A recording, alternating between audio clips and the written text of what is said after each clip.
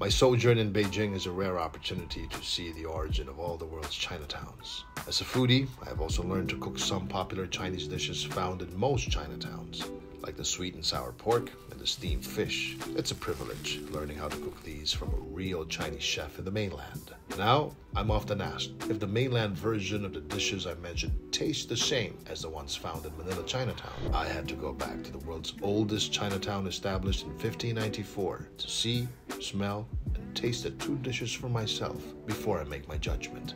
Toho Panciteria Antigua, a Cantonese restaurant, was founded in 1888. It is also known as the oldest Chinese restaurant in the Philippines. Subukan natin ng sweet and sour pork.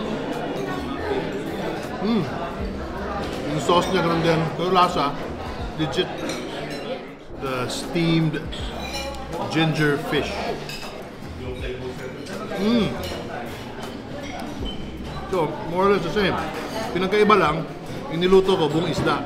Ito, naka-fillet na. Pero ganun din.